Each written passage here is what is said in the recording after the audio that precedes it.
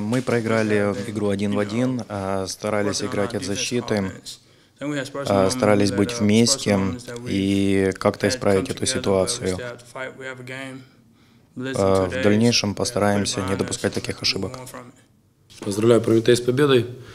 Два фактора, один на один и много очков из быстрого прорыва.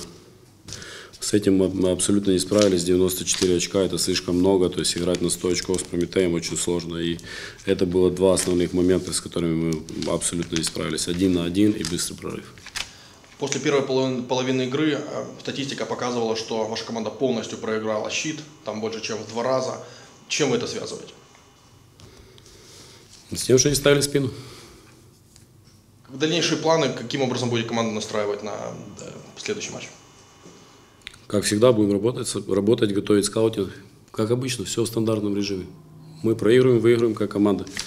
И сейчас надо сцепить зубы и работать дальше. Ничего больше.